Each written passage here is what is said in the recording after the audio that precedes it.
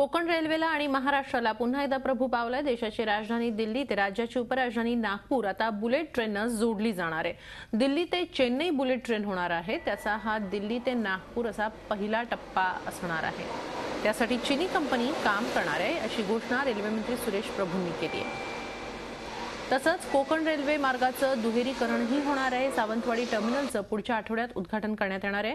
कोल्हापूर ते वैभववाडी असा नवा मार्ग सुरू करण्यात येणार आहे. तसंच लांब पल्ल्याच्या रेल्वेला गर्दी असते हे लक्षात घेता कोचेसची संख्या चोवीसवरून सव्वीस करण्याचा महत्त्वपूर्ण निर्णय घेण्यात आला आहे मुंबई उपनगरीय रेल्वेसाठी प्रभूंनी महत्त्वपूर्ण घोषणा केलेल्या आहेत. सीएसटी ते पनवेल एलिव्हेटेड करण्याचा प्रभूंचा विचार आहे. तसंच मुंबईतल्या रेल्वे समस्यांबाबत श्वेतपत्रिकाही तयार करण्यात आली आहे.